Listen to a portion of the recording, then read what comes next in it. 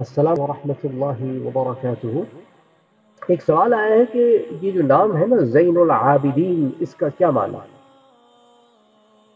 زین کا معنی ہوتا ہے حسن، خوبصورتی بیوٹی انگریزی زبان میں اس کو کہتے ہیں بیوٹی بھی کہتے ہیں اور بعض کہتے ہیں اس کو گریس پر وقار پر وقار بھی اور حسن بھی۔ اور عابدین جو ہے، وہ عابد کی جمع ہے۔ عابد کہتے ہیں، اللہ کی عبادت کرنے والے کو جو بہت عبادت کرتا ہے اللہ۔ تو زین العابدین کا مفہوم یہ ہوا کہ وہ جو عابدوں میں سب سے اعلیٰ ہے، اس مقام پر ہے کہ وہ عابدوں کا حسن ہے۔ یعنی عابد جو ہوتا ہے نا، اس کا ایک نور ہوتا ہے عبادت کرنے کی وجہ سے۔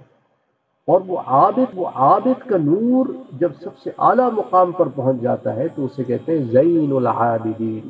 عابد کا حسن، عابد کا وقار۔ تو وہ ہوتی ہے زین العابدین۔ تو یہ بہرحال امام زین العابدین جو ہے، ان کا نام تھا علی۔ اور یہ بیٹے ہیں امام حسین کے۔ اور مشہور ہوئے زین العابدین کے نام سے